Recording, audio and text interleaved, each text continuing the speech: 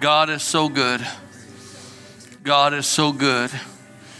Thank you that your goodness, Father, chased us. Thank you. When we were not smart enough to chase after you, your goodness chased after us. I thank you, Father. Father, I thank you that everyone here, I, I, just in my heart, that everyone here has a moment of remembrance. I just pray that everyone has a moment of remembrance. That's a great message that you could share with us, Father. A moment of remembrance. A moment of remembrance. a moment of remembrance. I thank you, Father. May we never forget. May we never forget. May we never forget. May we never forget. May we never forget. You know, even Jesus talked like that. There was a rich man that was foolish. There's a poor man named Lazarus.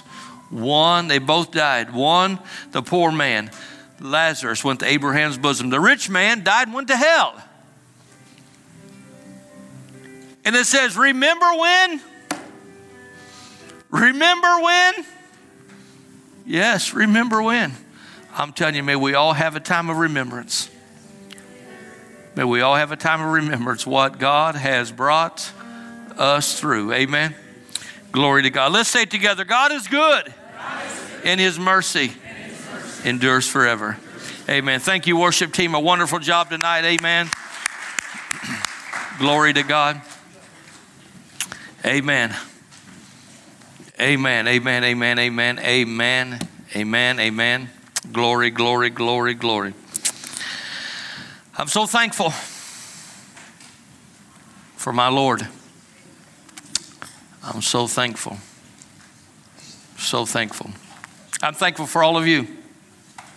I'm thankful that God led you to Covenant of Peace Church, First Full Gospel Temple and then some of you to covenant of peace after it already changed. I thank God for all you've been faithful that's been here from the beginning. That uh, you never quit.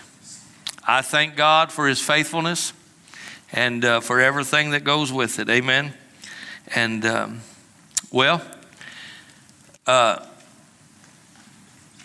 today, or uh, was it this morning? This morning, uh, the Lord really was uh, impressing on Angel to say something. Now, for her to be impressed to say something, uh, not just spontaneous, you know, where she comes up and says, I got something, uh, I know it's, uh, it's a good thing.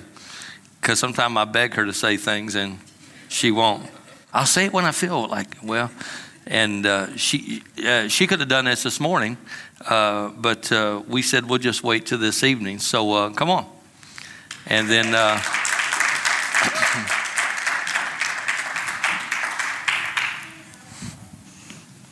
I don't think I was as nervous this morning. How's everybody doing? Good. You know, you're talking about remembrance. So, of course, I have to share mine. So, you know, I think about um, where I was um, before I came out to what was then Full Gospel Temple. As a single female, um, I attended the Philadelphia Drive Church of God. If any of you are familiar with the Church of God there on Philadelphia Drive across from the old Elder Beerman's, do you remember that? Anybody? And um, so I went there for years, and that's where I basically learned um, the foundation to my walk with God. So um, there were some things that had changed there, and um, my boss and his wife, um, they. Um, I, I, they were like my spiritual mentors at the time, and they felt to um, go another direction. So I kind of went along with them. And my boss's wife, she collected Hummels. And so um, the Miller's uh, Hallmark store, the, the Hummels. And so she was driving by the church building and uh, she was driving to go to the Hallmark store. The Lord told her that this was the church that they were supposed to go to. So um, we all started coming here. And um, I can remember it was a little different than what I was used to. And um, I kind of wondered, what on earth, what were you doing here? God, what is your plan? This is really different. And, um, and so, but not, but I always, I always knew in my heart. This is so funny. I don't know. I'm thinking about this, but it's so funny. I knew that I would marry somebody that was probably going to be a preacher, and that he went to Rhema. right. So, hallelujah. I knew that. So, here we come, and I'm I'm in this sanctuary, and it was a little it was a little different for me, and um, so I see this fella, uh, he was leading the, the whatever he did up here, the preliminaries. And you know, I was kind of like I like sports and stuff. I, you guys remember this part, and and I saw him and I thought, yeah, he looks a little klutzy, and um, I doubt he likes sports at all. And um, so I think there was one other thing, but I, and yet you were a slob, yeah. So sometimes we don't always don't always hear from God when we think we are, right? So yeah, I found out that he's a very avid sports fan. I didn't know if y'all knew that, so I thought I'd share that with you. That he's a very avid sports fan, and at the time he has changed since, but that he would fold his dirty clothes to put them into the laundry basket. So being neat, and oh, and then he he cleaned his house with um Pine-Sol. So, I mean, like top to bottom, spick and span. So the guy's more organized, more clean, more athletic than me. but at the time, I didn't know that. So, but, anyways, you know, so fast forward 24 years here we are right? So praise the lord for that. But i can remember there was that that time and, and i share this this is what i've seen over the years too is you know i know that the lord had led me to come to this church. Um, and i can't remember I, I can't put my finger on the amount of time that it was this way um, but where i kind of was still missing home. Does that make sense? Missing my home church. Because that's where that's where I cut my teeth. That's where I started walking. That's where I learned how to walk with God. And so, but I realized that it was really in God's plan for me to be here. And there was one night that we had uh, Dr. Rothwell, Miss Mary, you remember we had like a 24 hour prayer night. And um, for whatever reason, we were we were like the Lone Rangers, us four, I think. If I remember, I could be wrong with that, but God did something in my heart that night that I knew that this was where I was supposed to be. So, you know, I say that because over the years, then I've seen different people come that that that this is where they're supposed to be, but it doesn't mean that it's always comfortable at first because it's different. And but that doesn't mean that God isn't at work in you to bring you to that next level, um, to mold you, and to help you to, to get to that next place. It wasn't anything against any of the people; they were wonderful here. But I just, I just had a hard time because I liked the comfort zone of where I was until I realized that this is the next step that God had for me. And if I didn't fulfill that, then I wouldn't be able, the rest of my life may not have come together, right? So um, I want to encourage you with that. That I, I, mean, most of you are long timers here. I don't mean that, but even if, um, as we see, you know, I look back. I see Chris, or I see Cheryl. I don't see Chris, but and Hallie, you know, and even in the remembrance and things, they came here, and Hallie and those seizures, and how Jesus brought you through them. And she's a beautiful young lady that sits here, and how God healed her, and how those times were challenging. But they made it through. And I've said this before, but I remember like we would watch Luke. I'll call him Luke up here. He's Lukey to me, but I'm going to call him Luke up here. And, you know, there was one particular time that she was having a seizure, and they called and they had to drop off Luke, and they just lived right down the street. And I remember they dropped him off, and then I think Pastor went out to pray. I, you, I don't, I don't think you went, you took him to the hospital. But through that time, I can remember Cheryl. She kept her fixed. It wasn't easy, but she kept her faith fixed. And I thank God for that, you know, and I could go through a lot of you and how God has brought you through. life isn't always easy, but I see it's victory's the sweet thing, you know, but that we just have to hold on when things are a little tough. So this it was actually yesterday. I'm minding my own business. Actually, I got up early and I was like, "Yay! Didn't have to work. Hallelujah!" Taxis, you're all your all taxes done. Okay, tomorrow is the due date in case you need an extension. Okay, ours are done now. um, but anyways, I, I was like, I'm going to go downstairs and I'm just going to spend some time with Jesus. And I was walking down the steps. I heard these words.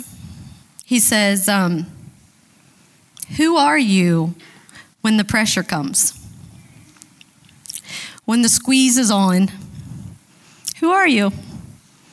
What comes out of you? So, you know, I'm sharing this not so much like I'm challenging you, but I guess I'm sharing it more from me because I just I heard that from my heart and I'm like, okay, Lord, who am I when the pressure's on and the squeeze is on? And and I can tell you over the last probably month especially, it gets intense. It gets busy. There's longer hours, um, more demands. Um, you know, sometimes it just seems like through those times, um, I'll just kind of share my part of it because, like Pastor says, I don't know everybody's story, but I do know mine. In that sense, is that you know, it just seems like okay, I'm a little more tired, a little more quick to get frustrated with some of the things that come up, right? And then we've had a few, I'll call hiccups with vehicles. and so um, that causes for um, extra finances. Ever been there? Um, and then, you know, we, it, it's not everybody gets refunds on their taxes. Some people have to pay. And so, you know, that's always a, an unknown. Not really, I kind of knew. But, you know, it's, there's just things, right? Life. Sometimes the washer and dryer goes out, or sometimes the, the you know you just have situations that call for extra demands that aren't always in our schedule they're not always planned and they can add some pressure to us and so i was thinking about this miss janine's in here good so first of all um, before i get to that because it's an 80s thing miss janine likes the 80s that's what i know so i they left that up there but the vice do you have a picture of the vice ready? The yeah, y'all know what that is? A vice. so my my memory of that is on my dad's workbench, of which when I was a little kid, all I remember is uh, turning the thing on the end to see how far out I could get it and then turning it back in to see how far I go. I didn't really realize it had purpose besides just for me to play with it, right? So, but it can get pretty tight and really squeeze things in there, right? It's to hold things and that kind of thing. Um, but I, I think about that when I think about a vice and squeezing, you know, because it's when you're squeezed, when the pressure's on, it kind of lets you know what, what comes out of you. So I was thinking about things that that when I eat, that something comes out of it. And I was remembering back to the 80s, and you have a picture of this of the freshen up gum. Does any of you guys remember the freshen up gum? Look at that. Those were the days, right? So, how many remembers that gum? Yeah, did you? And that that burst of flavor that came out of it, that was that was pleasant, right? That was a great burst that you, you got when you did that. Um, so, and another one, the uh, the Lindor picture, I think, is next. Remember, have you guys ever had these when you take a bite into that? Now, of course, I picked caramel because I like caramel, but they have them in like dark chocolate and stuff like that. But the outside has chocolate, but when you take a bite into it, it's got that squishy center, that kind of burst. But those are fun, pleasant kind of squeezes, aren't they? Of course, I have to do this um, for my husband. One more is the eclairs.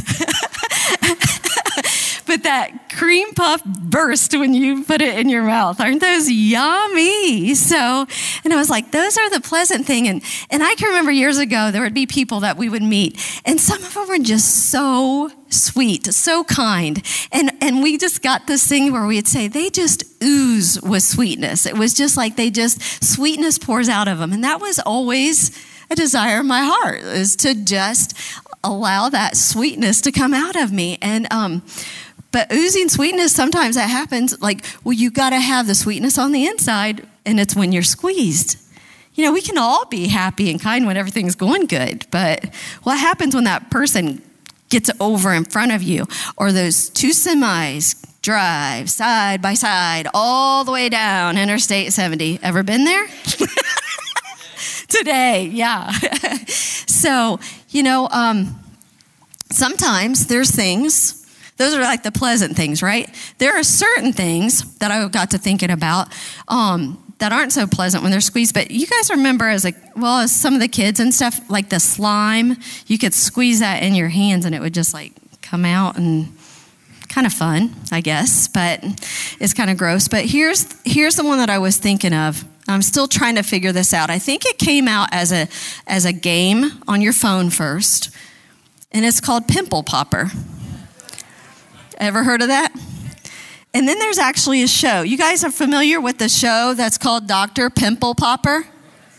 Do you guys raise your hand if you're familiar with that?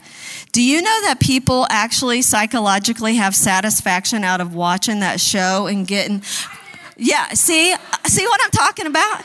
Y'all need prayed for. That is so disgusting. So Maddie's one of them. She absolutely loves that. And I promise you, no more pictures. I did not put one of those up there. You guys can look that up yourself. but that those things are squeezed and it's unpleasant. I guess the end result is supposed to be good and all that stuff, but nastiness, right? But but then it kind of goes back to that thing of I'm asking myself, I want you to ask yourself, who are you when the pressure comes?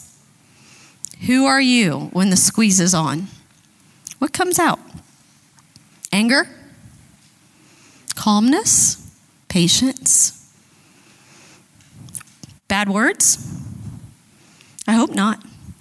But who are you when the pressure comes? Um, I want you guys to, you got your Bible?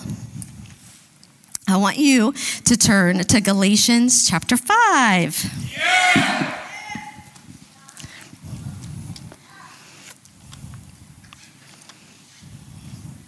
I could bring up the kids on the move kids and they could sing their, sing their song, The Fruit of the Spirit, and they would know that. Um, while y'all are looking at Galatians chapter 5, I just want to do a little bit of a, a side note here. Um, first of all, when I was talking about like 24 years later, actually our anniversary is on the 24th, and it's 24 years this year. Um, and I'd do it all over. And I'm thankful that God has called me um, to be faithful to give me a man to walk with and to have the opportunity to um, stand um, in this position. I love the people of God. And you guys are amazing. And I'm so thankful for that. I'm thankful for the opportunity to um, work in the education department. We've got, we've just got so many amazing people here and the discipleship teachers, the kids on the move teachers, kids in motion teachers, youth, young adults, adult teachers. So many gifts in this place to teach the Word of God at every level, and I'm forever grateful. And, um, you know, the, the groups are growing. Hallelujah. So, you know, Pastor talked about this morning about answering the call and obeying God. So, I mean, if you ever feel to help out, you let us know because God's on the move. Amen. So, Galatians chapter 5, did you find it? Okay, it says in verse 16, I say then, walk in the Spirit, and you shall not fulfill the lust of the flesh. For the flesh lusts against the spirit, and the spirit against the flesh, and these are contrary to one another, so that you do not do the things that you wish. But if you are led by the Spirit, you are not under the law. Now the works of the flesh are evident, which are adul- sorry, adultery, fornication, uncleanness, lewdness, idolatry, sorcery, hatred, contentions, jealousies, outbursts of wrath, selfish ambitions, dissensions, heresies, envy, murders, drunkenness, revelries, and the like, of which I tell you before, just as I also told you in time past, that those who practice such things will not inherit the kingdom of God. I thought of those like that pimple popper, the nasty stuff that comes out when you're squeezed, right? But look at this in verse 22. But the fruit of the Spirit is love, joy, peace, long suffering, kindness, goodness, faithfulness, gentleness, self control. Against such there is no law. And those who are Christ have crucified the flesh with its passions and desires. If we live in the Spirit, let us also walk in the Spirit. Let us not become conceited, provoking one another, envying one another.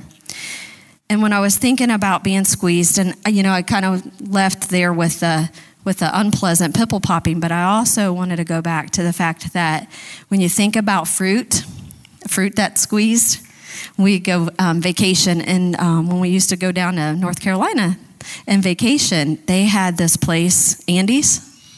I guess they changed it to like 55 or Highway 55 or something like that. But they had this drink called a, uh, like a orangeade, and it was squeezed oranges with sugar. Amazing. What other things do you squeeze, especially come with affairs and stuff? The lemonade squeeze, right? What about, um, is there a limeade kind of thing? Is there? Is there one of those? What else is good to squeeze and make good juice out of? Grapefruit. What about grapes? Yeah? Apple cider, that's, that's, right. So, you know, I think it's kind of ironic or so good that the, those are really good drinks. And the Bible likens it to the fruit of the Spirit. Um, I want you to turn over to Psalm chapter 1. I just have a couple other scriptures.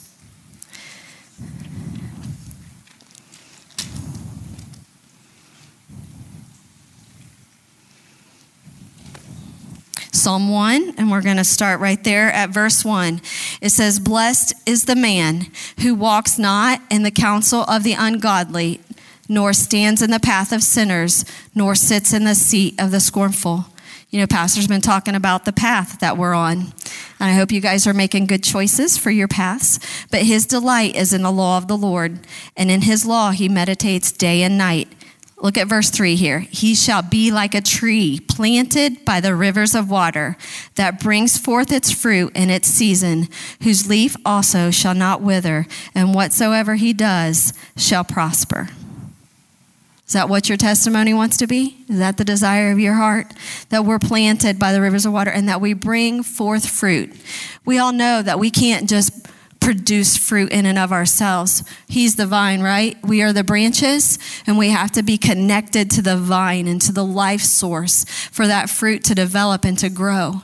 You know, there's a song and, and it's scriptural, but it says, Search me, O God. You know, it's like, see if there's any wicked way in me. And I, I want to be pure before you, Jesus. So search me, O God. And the Bible says that the word of God um, is quick, powerful, sharper than any two edged sword.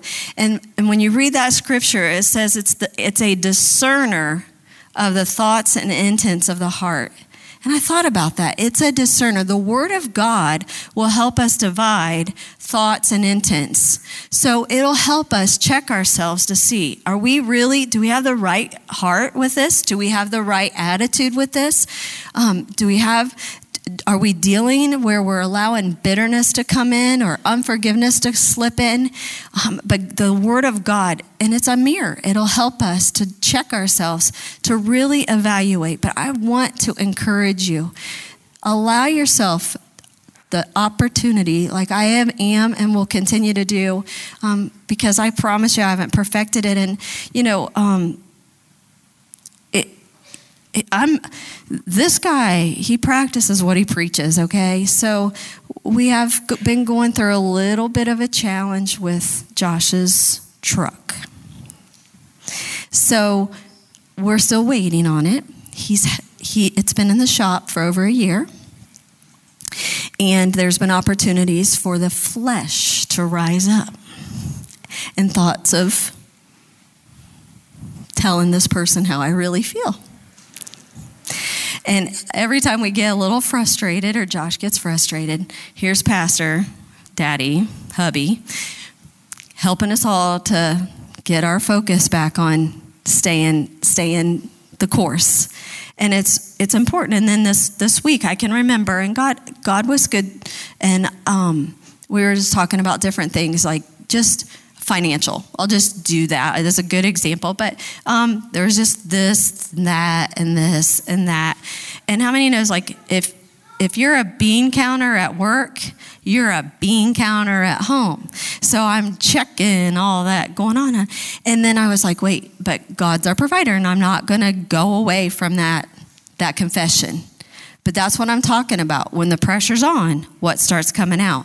And I remember we were having a little family meeting, and um, you know, sometimes it's difficult when you're in a challenging situation. Your mouth just kind of wants to just, just like fly off. Uh, can I say it like that? Like you just want to, you just want to just share your aggravation because it'll make you feel better, right?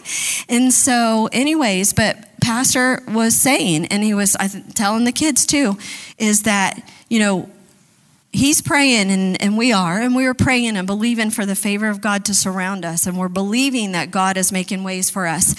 So what we cannot do is, is allow our words to stop that process okay and so there are times that you know we can we can say oh the favor of the lord's upon us and then as soon as we get hit bam bam then we're like oh this is i can only go one step forward and three steps back i can't win for losing and we just start letting all that spouty stuff. We can never get ahead. As soon as we try to get ahead, something else happens and we can never get ahead. You know what? That's where you have to clamp it and stay with what the Word of God says because that's when the pressure's coming and that is what what's in you is going to come out of you. And that's where you have to keep the course. And none of us are perfect at this. Thank God that He forgives us. We can repent, repent and get back on course. Come on up, honey. I'm done pretty much. So, unless you have a question for me, and I'll answer it.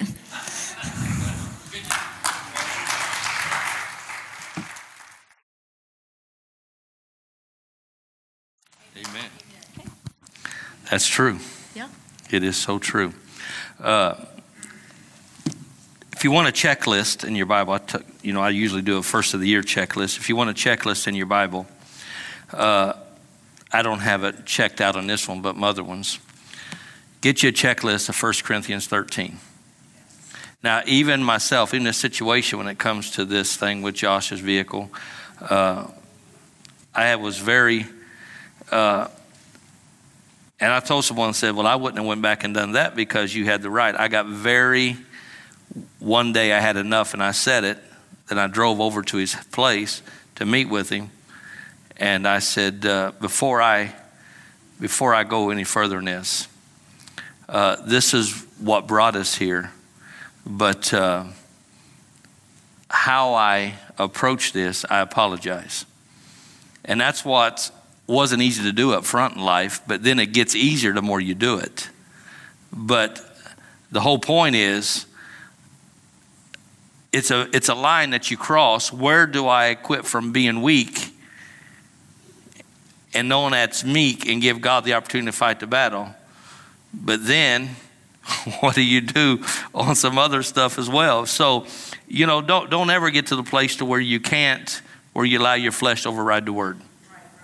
If you're going to err, err on the side of this. Err on the side of this. If that's if you're going to err, err on the side of this. I'd rather err on the side of coming off weak and giving God the opportunity to fight my battle and restore than I ever would trying to take it in my own hand and losing. All right? I, am I'm, I'm not that good of a fighter to fight all my own battles. You get it? I'm not that good. I was never a scrapper to begin with. I never like to lose. I've disciplined on the basketball court, as on the football field. I don't like to lose, but I know that uh, without God, we don't make it. But here's the checklist 1 Corinthians 13. Though I speak with tongues as men and angels, but have not love, charity, I become a sounding brass and tinkling or a clanging cymbal. And though I have the gifts of prophecy, well, and understand all mysteries and all knowledge, and though I have all faith that I could remove mountains but have not love, I am nothing. Now, I didn't say you wouldn't be. It says you are, it says you're nothing. And though I bestow all of my goods to feed the poor, I give everything away, Lord. Well, it's all right. And though I give my body to be burned, but have not love, it profits me nothing. Love suffers long and is kind. Love does not envy. Love does not parade itself. Love is not puffed up, does not behave rudely. You know, I, I just, uh, I, I struggle with people that become rude. And uh, love does not is not rude, does not seek its own, is not provoked, thinks no evil, does not rejoice in iniquity, but rejoices in truth, bears all things, believes all things, hopes all things, endures all things. And just the next few words of verse 8 love never fails. That's the road you take. So, since I, I just wanted to um, pray for you before I go down to, but I just, if the Lord gave me that and then He wanted me to share that with you, maybe there's somebody here that's feeling that pressure. And um, I just want to pray for you. So, if you just want to bow your head, and you'll know if you're the one facing the pressure or not. But I just want to pray for you. Father, in the name of Jesus, I thank you that you are a good God. And I thank you, Jesus, that even when the pressures squeeze like the vice, that, that when we turn it to tighter and it just seems like it's just squeezing us, but Jesus, you do have a way out. You make a way when there seems to be no way. Jesus, you move in ways that we cannot see, Jesus, and you'll make a way for our situation. And Father, Forgive us if we have allowed our, our mouth to run off and say things that we shouldn't. Forgive us, Jesus, and we're going to get back on path with it. But Father, I thank you that this congregation is blessed of the Lord. I thank you, Father, that the favor of God is upon them. I thank you for those that are that are having a financial challenge, Jesus, that you will help them to fix it, give them the wisdom. If it's a physical, no matter what it is, if it's yes, relationship, Lord. Jesus, whatever it is, God, you you are the waymaker and you are the helper and you are the one that will restore and bring victory as we speak to the mountain and command it to be removed and not allow defeat to overtake us. In the name of Jesus. Amen. Amen. Amen. Hallelujah. Well, thank you. I didn't know she had a slideshow going there. She came in prepared, man. Came in prepared. Well, praise God. Uh, I'm not going to add anything other than that verse uh, to that, um, but uh, God is faithful. God is faithful. Uh, yesterday, we're getting ready to go into the uh, take the youth over to that down to Topgolf. Uh, we're getting ready to do that, and um, I just said something, Angel. You know, I was given given to somebody some things that I just really wanted to just just to show them love. And I told Angel, I said, you know, the reason why it brings so much joy to give things away is because that's the love of God. That's God. For God so loved that he kept everything to himself. No, what is it? He so loved that he gave. I'm telling you, I, I get ecstatic about giving. I, I do. I get. Uh, I just love giving things away. I love buying things for people and uh, sharing things. Uh, I just do. I just do. I, have said it many times. I remember when when uh, I was sitting here and Mike would on Sunday, he'd say, "Well, let's. Uh, you going to go home with me?" Yeah, and and uh, Mike Rothwell. And so I knew that they'd go out to they'd go out to dinner after service. They'd go out to lunch after service, and I always felt bad. Like, you know, dear God, they're always paying for my food, but if they didn't, I couldn't do it anyway. You know, it's just it's just a fact. And I remember saying one time, Lord, uh, it won't always be this way. You're going to bless me to where I'm not going to sit there and feel like that somebody else has to do it. Uh, you're going to bless me to where I'm going to be the one grabbing this and taking people. And that's just, that's what it's all about. Amen. God's love gives. God's love gives. So you may not be where you want to be or where you think you should be, but you stay in there. You keep letting the right things come out of you, and God will put you in that very place. All right, let's stand. Come on. God love. Love gives. Love gives. Love gives. Love's not selfish. I've had too many marriage counseling situations with people, and, and I've dealt with selfishness. People being selfish. And uh, they want it their way. They want it their way. And, uh, and so, I mean, the woman just honest. He's selfish. And he said, Yes, I am. But I love her. I said, No, wait a minute. Love isn't selfish. The true love of God isn't selfish. Love gives. Amen. I'm reminded of the story. This some of you may have heard it. I'll give you the short version since you're already standing. Uh, you're thinking, getting out early. Glory to God. Short version. Huh? Not if you don't, if I don't keep talking. But this husband and wife, you know, and um, they're getting ready to coming up on a special date, and uh, he couldn't figure out how he how he could do something special for her, and and uh, it said the story went on. It was a not a true story, but it was a story. I don't think it was a true story. It was kind of a anyway. But anyway, she had this beautiful long flowing hair, but they were so poor that he really never had money to buy her the brush that she always wanted. But he had this horse that he had that was their transportation, but he rode it bareback because he didn't have a saddle. So she thought, I'm going to sell my hair to buy him a saddle. But he said, I'm going to sell my horse to buy her that brush. And the day came. She had no ho- she had no hair. He had no horse. But that love brought them together. Amen. So just whatever you do, love. Love.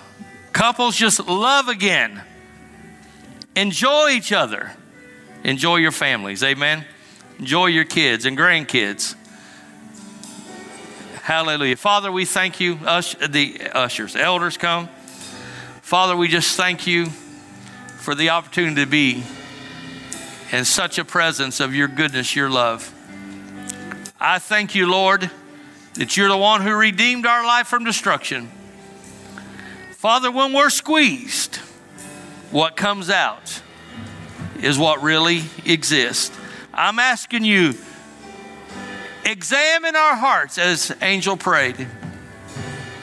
We want to please you. We want to be pleasing one another. We want pureness to come out of our mouth. Bitter and sweet don't come out of the same faucet. May it be sweet that comes out. I thank you, Father, for your word. I decree no sickness, no plague, no disaster, no destruction, nor disease comes near us. And Father, I thank you that you give your angels charge to bear us out of dangers, to, to deliver us, to snatch us from it. And therefore, we're thankful. And we say with our mouth, because we believe in our heart, angels, take charge. Amen.